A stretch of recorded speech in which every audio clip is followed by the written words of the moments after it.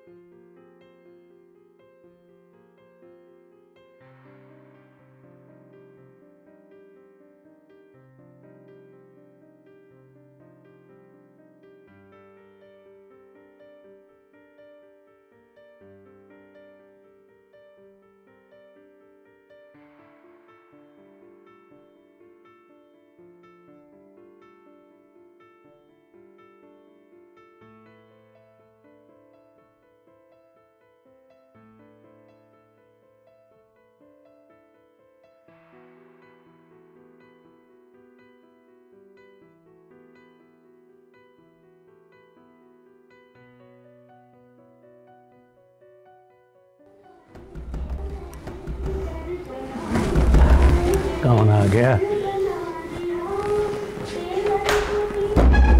अस्सलाम वालेकुम सर क्या हाल है भाई ਠੀਕ अंजम ਠਾਕ ਸਰ सवेरे सवेरे ही ਦੇਖ ਲਓ ਬਸ ਤੁਹਾਡੇ ਨਾਲ ਪਿਆਰ ਹੀ ਇੰਨਾ ਕਿ ਸਵੇਰੇ ਸਵੇਰੇ ਹੀ ਆ ਗਏ चलो ठीक है बड़ी मेहरबानी सा सवेरे सवेरे ਜੀ ਦੋਸਤੋ ਅਹ, ਪਹੁੰਚ ਚੁੱਕੇ ਆ ਪ੍ਰੋਫੈਸਰ ਤਾਰਕ ਜਟਾਲਾ ਸਾਹਿਬ ਦੇ ਕੋਲ ਸੋ ਉਹਨਾਂ ਨਾਲ ਗੱਲਬਾਤ ਕਰਨੇ ਆ ਜੀ ਅਸਲਾਮ ਅਲੈਕਮ ਸਰ ਵਾਲੇਕੁਮ ਸਲਾਮ ਜੀ ਵੈਲਕਮ ਸਾਡੇ ਚੈਨਲ ਤੇ ਤੁਹਾਨੂੰ। ਹਾਂ ਬਸ ਮੈਂ ਮਿਹਰਬਾਨੀ ਕਿ ਤੁਸੀਂ ਮੈਨੂੰ ਮੌਕਾ ਦਿੱਤਾ। ਮਿਊਜ਼ਿਕ ਦੀ ਗੱਲ ਤਾਂ ਹੋਏਗੀ ਲੇਕਿਨ ਅਸੀਂ ਚਾਹੁੰਦੇ ਆ ਕਿ ਸਾਡੇ ਵੇਖਣ ਵਾਲਿਆਂ ਨੂੰ ਪਹਿਲੇ ਥੋੜਾ ਆਪਣੀ ਹਯਾਤੀ ਦੇ ਬਾਰੇ ਆਪਣੇ ਪਿਛੋਕੜ ਦੇ ਬਾਰੇ ਦੱਸ ਦਿਓ।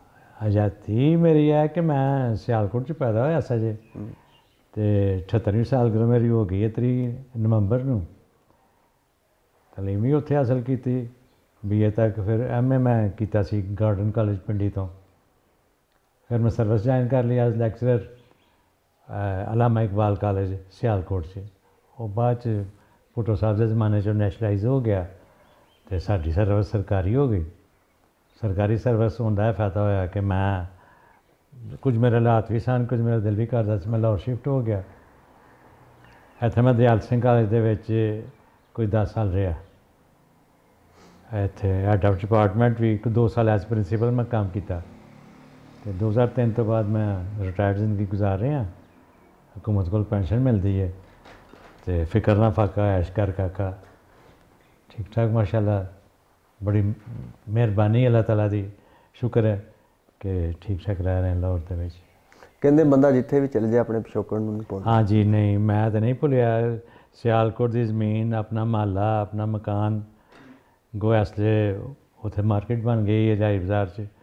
ਤੇ ਮੈਨੂੰ ਯਾਦ ਹੈ ਤੇ ਮੈਂ ਅਕਸਰ ਬਹਾਨੇ ਬਹਾਨੇ ਪਾ ਕੇ ਹੀ ਨਾ ਸ਼ਹਿਰ ਦੀ ਮਿੱਟੀ ਨੂੰ ਹੱਥ ਲਾ ਆਉਣਾ ਹੁੰਦਾ। ਹੂੰ। ਹੁਣ ਤੇ ਮੋਟਰਵੇ ਬਣ ਗਈ ਹੈ ਜ਼ਰਾ ਆਸਾਨੀ ਹੋ ਗਈ।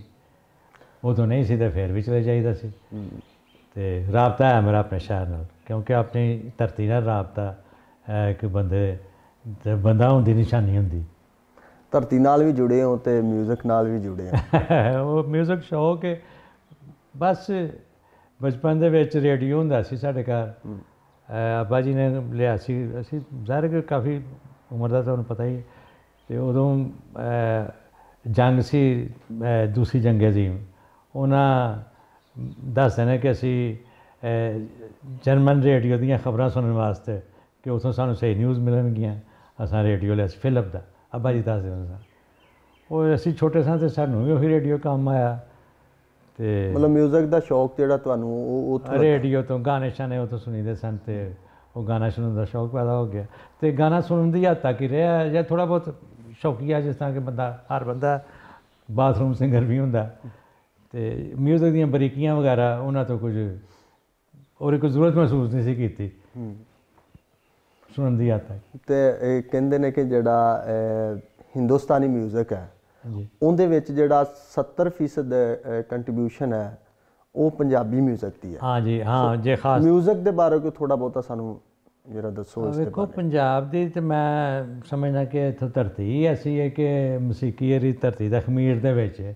ਕਿਉਂਕਿ ਇਹ ਇੱਕ ਐਗਰੇਰੀਅਨ ਸੁਸਾਇਟੀ ਹੈ ਇਹ ਪੰਜ ਦਰਿਆਵਾਂ ਦੀ ਸਰਜ਼ਮੀਨ ਹੈ ਤੇ ਇੱਥੋਂ ਦਾ ਲੋਕਾਂ ਦਾ ਪੇਸ਼ਾ ਹੀ ਹੈ ਜ਼ਰਾਇਤ ਔਰ ਜ਼ਰਾਇਤ ਦੇ ਵਿੱਚ ਕਿਸਾਨ ਖੇਤੀਬਾੜੀ ਕਰਦਾ ਹੈ ਖੁੱਲਾ ਮਾਹੌਲ ਹੁੰਦਾ ਹੈ ਫਿਤਰਤ ਤੋਂ ਬਹੁਤ ਨੇੜੇ ਹੁੰਦਾ। ਹੈ ਤੇ ਜਦੋਂ ਬੰਦਾ ਫਿਤਰਤ ਤੋਂ ਨੇੜੇ ਹੋਏ ਤੇ ਉਹ ਲਤੀਫ ਜਜ਼ਬਾਤ ਦਿਲ 'ਚ ਵੈਸੇ ਹੀ ਪੈਦਾ ਹੁੰਦੇ ਨੇ।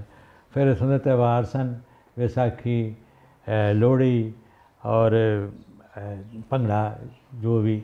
ਇਹ ਸਾਰੇ ਤਿਉਹਾਰ ਇਹਨਾਂ ਦੇ ਵਿੱਚ ਰਕਸ, ਮਸੀਕੀ, ਇਹ ਬੜਾ ਲਾਜ਼ਮੀ ਜੁਜ਼ ਸੀ। ਇੱਕ ਤੇ ਹੈ ਤੇ ਦੂਸਰੀ ਮਸੀਕੀ ਦੀ ਰਵਾਇਤ ਸਾਡੀ ਚੱਲਦੀ ਹੈ ਸੂਫੀਆ ਕਰਾਮ ਤੋਂ। ਸਾਡੇ ਜਿੰਨੇ ਸੂਫੀਆ ਕਰਾਮ ਪੁਰਾਣੇ ਸ਼ਾਇਰ ਵੀ ਸਨ ਨਾਲ ਨਾਲ ਔਰ ਜਿਹੜੇ ਸ਼ੇਰ ਉਹ ਕਹਿੰਦੇ ਸਨ ਉਹਨਾਂ ਦੀਆਂ ਧੁਨਾਂ ਵੀ ਆਪ ਬਣਾਉਂਦੇ ਸਨ। ਹੀਰ ਵਾਰਿਸ ਔਰ ਇਹ ਧੁਨ ਵਾਰਿਸ ਸ਼ਾਹ ਸਾਹਿਬ ਨੇ ਬਣਾਈ ਜੀ। ਅੱਛਾ। ਜੀ ਬਿਲਕੁਲ। ਔਰ ਮੀਆਂ ਮੁਹੰਮਦ ਬਖਸ਼ ਦਾ ਜਿੰਨਾ ਕਲਾਮ ਗਾਇਆ ਜਾਂਦਾ। ਹੈ, ਹੂੰ ਹੋਰ ਵੀ ਇੱਕ ਖਾਸ ਲਿਹਾਜ਼ ਦੇ ਵਿੱਚ ਆ ਇਹਦੇ ਇਲਾਵਾ ਫਿਰ ਸਾਡੇ ਆਪਣਾ ਬਾਬਾ ਫਰੀਦ ਤੋਂ ਸ਼ੁਰੂ ਕਰੀਏ ਉਹ ਵੀ ਮਿਊਜ਼ਿਕ ਦੀ ਸੁਧ ਬੁੱਧ ਰੱਖਦੇ ਸਨ। ਗੁਰੂ ਨਾਨਕ ਬਲ- ਸ਼ਾਹ ਦੇ ਬਕਾਇਦਾ ਗੁਰੂ। ਨਾਨਕ ਤੇ ਗੁਰੂ ਨਾਨਕ ਦੇ ਨਾਲ ਤਾਂ ਭਾਈ ਮਰਦਾਨਾ ਜੀ ਵੀ ਹੁੰਦੇ ਜੀ, ਸਨ ਜਿਹੜੇ। ਹਾਂ। ਹਾਂਜੀ। ਤੇ ਇਹ ਲੋਕ ਸਨ। ਉਹ ਫਿਰ ਉਹ ਜ਼ਾਹਿਰ ਕੋਈ ਰਵਾਇਤ ਫਿਰ ਚੱਲਦੀ ਆਈ ਨਾ। ਤੇ ਫਿਰ ਜਦੋਂ ਨਵਾਂ ਦੌਰ ਹੋਇਆ ਸਾਇੰਸ ਦਾ ਨਵੀਆਂ ਇਜਾਜ਼ਤ ਹੋਈਆਂ ਗ੍ਰਾਮਫੋਨ ਆਇਆ ਰਿਕਾਰਡਿੰਗ ਦਾ ਸ਼ੁਰੂ ਹੋਇਆ ਸਿਲਸਿਲਾ ਮੁਖਤਤਾ ਦੇ ਸਾਜ਼ ਆਇਆ। ਹੁਣ ਤਾਂ ਇਲੈਕਟ੍ਰੋਨਿਕ ਸਾਰਾ ਕੁਝ ਹੋ ਗਿਆ ਡਿਜੀਟਲ ਹੋ ਗਿਆ। ਉਦੋਂ ਪਹਿਲਾਂ ਜਿਹੜੇ ਰਵਾਇਤੀ ਸਾਜ਼ ਸਨ, ਉਹਨਾਂ 'ਚ ਵੀ ਬੜੀ ਇੰਪਰੂਵਮੈਂਟ ਹੋਈ। ਫਿਰ ਰੇਡੀਓ ਆਇਆ ਫਿਲਮ ਆਈ। ਤੇ ਫਿਰ ਘਰ ਘਰ ਦੇ ਵਿੱਚ ਫਿਰ ਜ਼ਾਹਿਰ ਹੈ ਕਿ ਫਿਰ ਐਡਾ ਔਖਾ ਨਹੀਂ ਨਾ ਰਿਹਾ। ਕਿ ਤੁਸੀਂ ਜਾਂਦੇ ਹੋ ਕਿਤੇ ਗਾਣਾ ਸੁਣਨ ਜਾਂਦੇ ਹੋ ਜਾਂ ਗਾਉਣ ਵਾਲਿਆਂ ਨੂੰ ਘਰ ਬੁਲਾਉਂਦੇ ਹੋ ਜਾਂ ਕੋਈ ਫੰਕਸ਼ਨ ਹੁੰਦਾ ਤੇ ਇੱਕ ਚੀਜ਼ ਨੂੰ ਸੇਲ ਮਿਲ ਜਾਏ ਫਿਰ ਸ਼ੌਕ ਪੈਦਾ ਹੋ ਜਾਂਦਾ। ਤੇ ਸੋ ਮੈਨੂੰ ਵੀ ਸੁਣਨ ਦਾ ਸ਼ੌਕ ਰੇਡੀਓ ਤੋਂ ਹੋਇਆ। ਅੱਛਾ। ਤੇ ਉਹ ਫਰਮਾਇਸ਼ੀ ਪ੍ਰੋਗਰਾਮ ਹੀ ਲੱਗਦੇ ਸਨ। ਗਾਣੇ ਉਰਦੂ ਦੇ ਵੀ ਪੰਜਾਬੀ ਦੇ ਵੀ ਲੋਕ ਗੀਤ ਯਾਰ ਤਾਂ ਕਿ ਫਿਰ ਅੱਛਾ ਲੱਗਾ ਜਦੀਦ ਦੌਰ ਅੱਜ ਕੱਲ ਤਾਂ ਕੋਈ ਵੀ ਗਾਣਾ ਸਰਚ ਕਰੋ YouTube ਤੇ ਲੱਭ ਜਾਂਦਾ ਹੈ। ਜੀ ਬਿਲਕੁਲ ਹੁਣ ਤਾਂ ਬਹੁਤ ਗਈ ਗ੍ਰਾਮੋਫੋਨ ਰੱਖਿਆ ਪੁਰਾਣੇ ਤਵੇ ਰੱਖੇ ਹੈ। ਇਹ ਕੀ ਹੈ ਕਿੱਥੋਂ ਲਿਆਂਦਾ ਹੈ? ਆ ਗ੍ਰਾਮੋਫੋਨ ਦਾ ਸ਼ੌਕ ਹੁਣ ਬਚ- ਬਚਪਨ ਤੋਂ ਸੀ। ਲੇਕਿਨ ਮੈਂ ਅਫੋਰਡ ਨਹੀਂ ਸਾਂ ਕਰ ਸਕਦਾ ਸਿੱਧੀ ਮੈਂ ਗੱਲ ਦੱਸਾਂ ਜੇ। ਇਹ ਇੱਕ ਸ਼ੌਕ ਬੜਾ ਮਹਿੰਗਾ ਸ਼ੌਕ ਹੈ ਕੋਈ ਲੋਕੀ ਹੈ ਨੇ ਐਸੇ ਜਿਨ੍ਹਾਂ ਨੇ ਗ੍ਰਾਮੋਫੋਨ ਰੱਖਿਆ ਦਾ। ਔਰ ਤਵੇ ਕਲੈਕਟ ਕਰਦੇ ਨੇ ਔਰ ਅੱਛੀਆਂ ਹਸੀਆਂ ਲਾਇਬ੍ਰੇਰੀਆਂ ਵੀ ਬਣਾਈ ਦੇ ਨੇ। ਮੇਰੇ ਦੋਸਤ ਨੇ ਫਿਆਜ਼ ਅਸ਼ਰ ਸਾਹਿਬ ਮਾਸ਼ਾਅੱਲਾ ਬਹੁਤ ਵੱਡੇ ਕਲੈਕਟਰ ਨੇ ਔਰ ਉਹਨਾਂ ਨੇ ਮੂਸੀਕ ਲਿਖਿਆ ਵੀ ਕਾਫੀ ਔਰ ਰਿਕਾਰਡ ਵੀ ਬਹੁਤ ਜ਼ਿਆਦਾ ਨੇ। ਮੇਰੇ ਕੋਲ ਤਾਂ ਦੋ ਚਾਰ ਰਿਕਾਰਡ ਆਏ ਨੇ ਤੇ ਆਪਣੇ ਸ਼ੌਕ ਵਾਸਤੇ ਮੈਂ ਫਿਰ ਚਲੋ ਜ਼ਿਆਦਾ ਨਹੀਂ ਤੇ ਕਿਸੇ ਨੇ ਲਾ ਕੇ ਸੁਣ ਲਈਦਾ ਤੇ ਕਿੰਨੇ ਕੁ ਰਿਕਾਰਡ ਨੇ ਇਸ ਟਾਈਮ ਤੁਹਾਡੇ ਕੋਲ? ਮੇਰੇ ਕੋਲ ਇਹ ਕੋਈ ਐਲਪੀਆਂ ਪਈਆਂ ਜੇ। ਇਹ ਮਸਨ ਹੈ ਜੇ ਐਲਪੀ ਨੂਰਜਾਂ ਦੀ ਇੱਕ ਐਲਪੀ ਹੈ ਹੈ। ਅੱਛਾ। ਅੱਛਾ ਇਹਨੂੰ ਐਲਪੀ ਰਿਕਾਰਡ ਬੋਲਿਆ ਜਾਂਦਾ। ਹੈ ਇਹ ਲੌਂਗ ਪਲੇ ਰਿਕਾਰਡ ਇਹਨੂੰ ਕਹਿੰਦੇ ਨੇ। ਰਿਕਾਰਡਾਂ ਇਹਦੀ ਸਪੀਡ ਵੀ ਬਕਾਇਦਾ ਹੁੰਦੀ ਹੈ ਐਲਪੀ ਕੋ ਖਾਸ ਸਪੀਡ ਹੈ ਤੇ ਕੁਝ 78 ਦੀ ਸਪੀਡ ਦੇ ਨੇ ਕੁਝ 45 ਦੀ ਸਪੀਡ ਦੇ ਨੇ ਕੁਝ ਛੋਟੇ ਤਵੇ ਨੇ। ਅੱਛਾ। ਤੇ ਇਹ ਵਿਨਾਈਲ ਰਿਕਾਰਡ ਕਲਾਉਂਦੇ ਨੇ। ਇਹ ਤੋਂ ਪਹਿਲਾਂ ਰਿਕਾਰਡ ਹੁੰਦੇ ਸਨ ਮਸਾਲੇ ਦੇ। ਉਹ ਟੁੱਟ ਜਾਂਦਾ ਸੀ। ਇਹ ਟੁੱਟਦਾ ਨਹੀਂ। ਅੱਛਾ। ਤੇ ਜ਼ਿਆਦਾ ਡਿਊਰੇਬਲ ਹੈ। ਤੇ ਇਹ ਬੜੇ ਬੜੇ ਰਿਕਾਰਡ ਤਾਂ ਬਸ ਥੋੜੇ ਜਿਹੇ ਰਿਕਾਰਡ ਨੇ ਬਸ। ਜਿਹੜੇ ਰਿਕਾਰਡ ਤੁਸੀਂ ਰੱਖੇ ਨੇ ਇਹ ਪਾਕਿਸਤਾਨੀ ਪੰਜਾਬੀ ਰਿਕਾਰਡ ਨੇ ਜਾਂ ਚੜ੍ਹਦੇ ਪੰਜਾਬ ਦੇ ਵਿੱਚ ਹਨ ਇਹ ਰਿਕਾਰਡ ਮੁxtਲਫ ਤਰ੍ਹਾਂ ਦੇ ਨੇ ਕੁਝ ਫਿਲਮੀ ਰਿਕਾਰਡ ਨੇ ਬੰਬੇ ਦੀਆਂ ਫਿਲਮਾਂ ਦੇ ਪਾਕਿਸਤਾਨੀ ਫਿਲਮਾਂ ਦੇ ਵੀ ਨੇ। ਕੁਝ ਸਿੰਗਰਸ ਦੇ ਹਿਸਾਬ ਨਾਲ ਨੇ ਮਸਨ ਨੂਰਜਹਾਂ ਦੇ ਨੇ ਤਲਤ ਮਹਿਮੂਦ ਦੇ ਨੇ ਮੁੰਨੀ ਬੇਗਮ ਦੇ ਨੇ ਫਿਰ ਫਿਰ ਪ੍ਰਕਾਸ਼ ਕੌਰ ਸੁਰਿੰਦਰ ਕੌਰ ਦੇ ਰਿਕਾਰਡ ਨੇ ਜਿਹੜੇ ਬਹੁਤ ਅੱਛੀ ਜਿਹਨੇ ਸਭ ਤੋਂ ਪਹਿਲਾਂ ਲੋਕ ਗਾਣੇ ਜਿਹਨਾਂ ਗ੍ਰਾਮੋਫੋਨ ਰਿਕਾਰਡ ਦੇ ਜ਼ਰੀਏ ਸ਼ੁਰੂ ਕੀਤੇ ਸਨ ਰੇਡੀਓ 'ਚ ਗਾਉਂਦੇ ਸੀ। ਤੇ ਮੁxtਲਫ ਸਿੰਗਰਾਂ ਦੇ ਨੇ। ਉਰਦੂ ਪੰਜਾਬੀ ਹਿੰਦੀ ਵਗੈਰਾ ਪਾਕਿਸਤਾਨੀ ਇੰਡੀਅਨ ਮਿਲੇ ਜੁਲੇ। ਅੱਜ ਦੀ ਗਾਇਕੀ ਜਿਹੜੀ ਹੈ ਤੇ ਪਿਛਲੀ ਗਾਇਕੀ ਜਿਹੜੀ ਹੈ ਉਸ ਨੂੰ ਕਿਵੇਂ ਵੇਖਦੇ ਹੋ? ਵੇਖੋ ਗਾਇਕੀ ਤੇ ਗਾਇਕੀ ਹੁੰਦੀ ਹੈ ਅੱਜ ਵੀ ਬੜੇ ਅੱਛੇ ਸਿੰਗਰ ਨੇ। ਪਹਿਲੇ ਵੀ ਬੜੇ ਅੱਛੇ ਸਿੰਗਰ ਸਨ। ਤੇ ਫ਼ਰਕ ਸਿਰਫ ਇਹ ਹੈ ਕਿ ਪਹਿਲਾਂ ਜੇ ਸਿੰਗਰ ਸਨ ਨਾ ਜਾਂ ਮਿਊਜ਼ੀਸ਼ੀਅਨ ਉਹ ਮਿਹਨਤ ਜ਼ਿਆਦਾ ਕਰਦੇ ਸਨ। ਉਹ ਜ਼ਿਆਦਾ ਇਨਸਾਰ ਉਹਨਾਂ ਦਾ ਟੈਕਨੀਕੈਲਿਟੀਜ਼ ਵੱਲ ਨਹੀਂ ਸੀ ਇਕਵਿਪਮੈਂਟ ਵੱਲ ਨਹੀਂ ਸੀ। ਮਤਲਬ ਉਹਨਾਂ ਦਾ ਜ਼ਿਆਦਾ ਇਨਸਾਰ ਸੀ ਕਿ ਸੁਰ ਅਲਫਾਜ਼ ਅੱਛੇ ਹੋਣ ਗਾਣਾ ਫਿਰ ਉਹਦੀ ਤਰਜ਼ ਅੱਛੀ ਹੋਏ 뮤직 ਦਾ ਅਰੇਂਜਮੈਂਟ ਅੱਛਾ ਹੋਵੇ ਮਤਲਬ ਬਹੁਤ ਜ਼ਿਆਦਾ ਰਿਹਰਸਲਾਂ ਉਹ ਤੋਂ ਬਾਅਦ ਰਿਕਾਰਡ ਹੁੰਦਾ ਸੀ। ਹੁਣ ਚੂੰਕਿ ਫੈਸਿਲਿਟੀਆਂ ਜ਼ਿਆਦਾ ਆ ਗਈਆਂ ਨੇ। ਮਸ਼ੀਨੀ ਗਾਣੇ ਹੋਣ। ਥੋੜੇ ਜਿਹੇ ਹਾਂ ਤੇ ਉਹਦੀ ਵਜ੍ਹਾ ਕਰਕੇ ਆਸਾਨੀਆਂ ਜ਼ਿਆਦਾ ਹੋ ਗਈਆਂ ਨੇ। ਇਹ ਮਸਲਨ ਆ- ਆਵਾਜ਼ ਦਾ ਕੋਈ ਮਸਲਾ ਹੈ ਤੇ ਉਹ ਸਾਜ਼ ਕਵਰ ਕਰ ਲੈਂਦੇ ਨੇ। ਵੇਖੋ, ਤੁਹਾਨੂੰ ਤਾਂ ਪਤਾ ਹੀ ਹੈ ਅੱਜ ਕੱਲ ਕੀ ਕੀ, ਕਿਸ ਤਰੀਕੇ ਨਾਲ ਗਾਣੇ ਰਿਕਾਰਡ ਹੁੰਦੇ ਨੇ, ਕੌਣ ਕੌਣ। ਔਰ ਦੂਸਰੀ ਗੱਲ ਹੈ ਕਿ ਅੱਜ ਕੱਲ ਦੇ ਮੂਸੀਕਾਰ ਜਾਂ ਗਾਉਣ ਵਾਲੇ, ਉਹਨਾਂ ਕੋਲ ਪੁਰਾਣਾ ਇੰਨਾ ਮਾਲ ਪਿਆ ਦਾ, ਉਹ ਜ਼ਿਆਦਾ ਮਿਹਨਤ ਨਹੀਂ ਕਰਦੇ, ਵਿੱਚੋਂ ਹੀ ਲੈ ਕੇ ਨਾ ਤੇ ਆਪਣਾ ਗਾਣਾ ਬਣਾ ਲੈਂਦੇ ਨੇ। ਉਹਨੂੰ ਅਸੀਂ ਰੀਮੇਕ ਕਹਿ ਲਵੋ ਉਹਨੂੰ ਅਸੀਂ ਟ੍ਰਾਈਬਿਊਟ ਕਹਿ ਲਵੋ। ਇਹਦੇ ਬਾਵਜੂਦ ਮੈਂ ਨਹੀਂ ਸਮਝਦਾ ਕਿ ਅਸੀਂ ਕਹੀਏ ਕਿ ਅੱਜ ਦੇ ਜ਼ਮਾਨੇ 'ਚ ਮਿਊਜ਼ਿਕ ਮਿਹਨਤ ਨਹੀਂ ਹੋ ਰਹੀ ਮਿਹਨਤ ਹੋ ਰਹੀ ਹੈ ਲੋਕੀ ਪਸੰਦ ਕਰਦੇ ਨੇ। ਲੇਕਿਨ ਪਹਿਲੇ ਗਾਣੇ ਤੇ ਅੱਜ ਦੇ ਗਾਣੇ ਸੀ ਕਿ ਪਹਿਲੇ ਗਾਣੇ ਮੂਡ ਦੇ ਹਿਸਾਬ ਨਾਲ ਹੁੰਦੇ ਸਨ ਇਹ ਸੈਡ ਹੈ ਇਹ ਖੁਸ਼ੀ ਦਾ। ਹੁਣ ਤਕਰੀਬਨ ਸਾਰੇ ਗਾਣੇ ਦੇ ਨਾ ਅ, ਇੱਕੋ ਸਟਾਈਲ ਦੇ ਤਰਬੀਆ ਹੀ ਹੁੰਦੇ ਨੇ ਖੁਸ਼ੀ ਦੇ ਹੀ ਹੁੰਦੇ ਨੇ। ਉਹ ਗਾਣੇ ਦੇ ਨਾਲ ਡਾਂਸ ਜਿਹੜਾ ਨਾ ਇੱਕ ਕਿਸਮ ਦਾ ਲਾਜ਼ਮੀ ਹੋ ਗਿਆ। ਯਾਨੀ ਗਾਣਾ ਔਰ ਨੱਚਣਾ ਤਕਰੀਬਨ ਲੱਗਦਾ ਕਿ ਮਿਕਸ ਹੋ ਗਿਆ। ਹੈ ਤੇ ਭਾਰਤ ਪਸੰਦ ਆਪਣੀ ਆਪਣੀ ਮਿਊਜ਼ਿਕ ਜਿਹੜਾ ਹੈ ਉਹਦਾ ਮਾਸ਼ਰੇ ਤੇ ਕੀ ਅਸਰ ਹੁੰਦਾ ਹੈ ਤੇ ਪੰਜਾਬੀ ਲੈਂਗੁਏਜ ਜਿਹੜੀ ਹੈ ਉਹਦੇ ਤੇ ਮਤਲਬ ਮਿਊਜ਼ਿਕ ਦਾ ਇਹ ਦੋ ਤੁਸੀਂ ਵੱਖਰੇ ਵੱਖਰੇ ਸਵਾਲ ਕਰਦੇ ਮਾਸ਼ੇ ਤੇ ਅਸਰ ਹੈ ਕਿ 뮤직 ਬੰਦੇ ਨੂੰ ਜਿਹੜਾ ਨਾ ਪੁਰਸਕੂਨ ਬਣਾਉਂਦਾ। ਉਹਨੂੰ ਇਹ ਜਿਹੜਾ ਮੈਂ ਤੇ ਸਮਝਣਾ ਕਿ ਤਸ਼ੱਦਦ ਵੱਲ ਔਰ ਇੰਤਹਾ ਪਸੰਦੀ ਵੱਲ ਜਾਣ ਤੋਂ ਰੋਕਦਾ।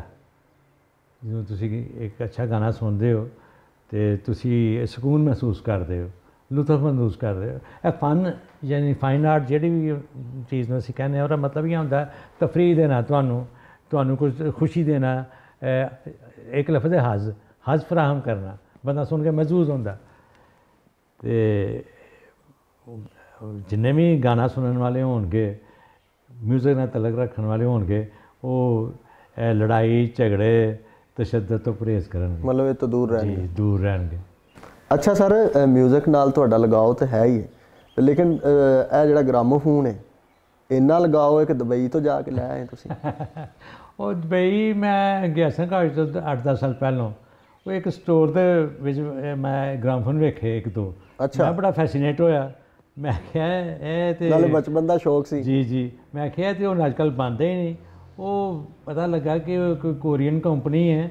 ਉਹਨੇ ਉਹ ਪੁਰਾਣਾ ਸਟਾਈਲ ਜਿਹੜਾ ਗ੍ਰਾਮੋਫੋਨ ਦਾ ਉਸ ਸਟਾਈਲ ਦਾ ਗ੍ਰਾਮੋਫੋਨ ਫੇਰ ਮਾਰਕੀਟ 'ਚ ਬਣਾ ਕੇ ਨਾ ਤੇ ਮਤਲਬ ਸੁੱਟੇ ਨੇ। ਕੀ ਬਾਤ ਹੈ। ਤੇ ਉਹ ਫਿਰ ਮੈਂ ਕੀਮਤ ਦਾ ਪਤਾ ਕੀਤਾ ਮੇਰਾ ਬੇਟਾ ਸੀ ਮੇਰੇ ਨਾਲ ਉਹਨੇ ਕਿਹਾ ਬੂ ਲੈ ਜਾ।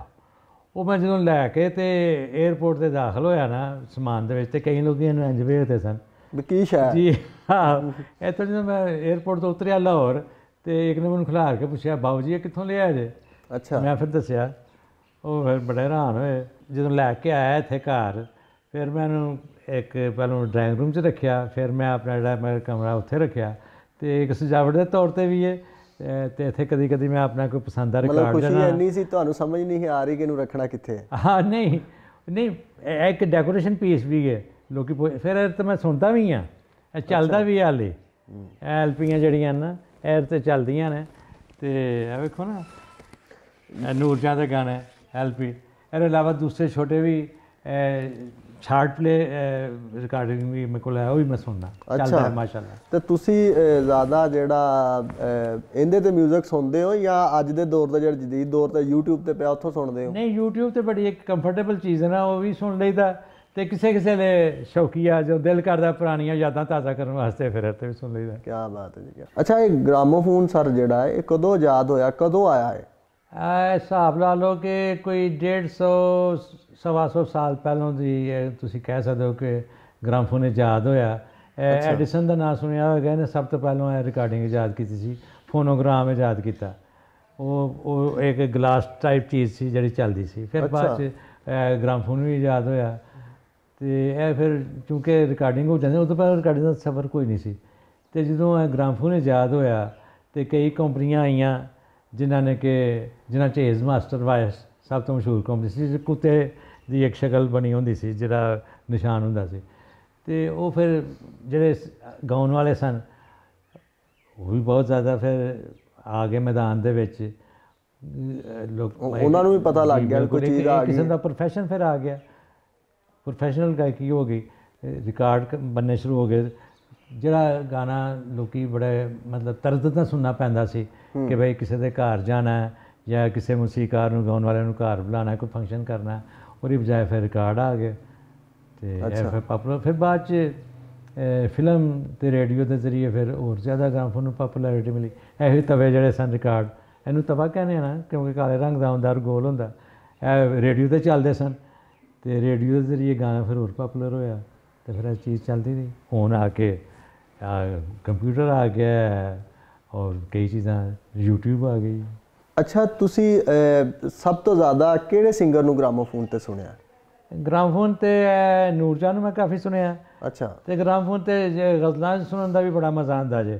ਮਹਿਦੀ ਹਸਨ ਦੀਆਂ ਗਜ਼ਲਾਂ ਮਸਲਨ ਗੁਲਾਮ ਅਲੀ ਦੀਆਂ ਗਜ਼ਲਾਂ। ਅੱਛਾ। ਤੇ ਲੋਕ ਗੀਤ ਵੀ ਸੁਰਿੰਦਰ ਕੌਰ ਪ੍ਰਕਾਸ਼ ਕੌਰ ਦੇ ਗੀਤ। ਕਿਆ ਤੇ ਪੁਰਾਣੇ ਸਿੰਗਰ ਜਿਹੜੇ ਨਾ ਉਹਨਾਂ ਦਾ ਗ੍ਰਾਮਫੋਨ ਤੇ ਹੀ ਮਜ਼ਾ ਆਉਂਦਾ। ਕੋਈ ਗਾਣਿਆਂ ਦੇ ਨਾਂ ਸਾਨੂੰ ਦੱਸੋ, ਕਿਹੜੇ ਕਿਹੜੇ ਜਿਹੜੇ? ਗਾਣੇ ਮਸਤਨ ਉਹ ਹੈ ਲੋਕ ਗੀਤ ਹੈ ਸੜਕੇ ਸੜਕੇ ਜਾਂਦੀ ਏ ਮੁਟਿਆਰੇ ਨਹੀਂ, ਕੰਡਾ ਚੁਬਾ ਮੇਰੇ ਪੈਰ, ਬਾਂਕੀਏ ਨਾਰੇ ਨਹੀਂ। ਇਹਦੇ ਇਲਾਵਾ ਮੁਹੰਮਦ ਰਫੀ ਦੇ ਗੀਤ, ਫਿਰ ਨੂਰਜਾਂ ਦੇ ਗਾਣੇ, ਇਹ ਮੈਨੂੰ ਰੱਬ ਦੀ ਸੌ ਤੇਰੇ ਨਾਲ ਪਿਆਰ ਹੋ ਗਿਆ, ਮੁਨਵਰ ਸੁਲਤਾਨਾ ਦਾ ਗਾਣਾ। ਨਾਇਤ ਭੱਟੀ ਦੇ ਗਾਣੇ ਸਾਰੇ ਗ੍ਰਾਮਫੋਨ 'ਚ ਚੱਲਦੇ ਹੁੰਦੇ ਸਨ ਔਰ ਬਹੁਤ ਪਪੂਲਰ ਹੁੰਦੇ ਸਨ।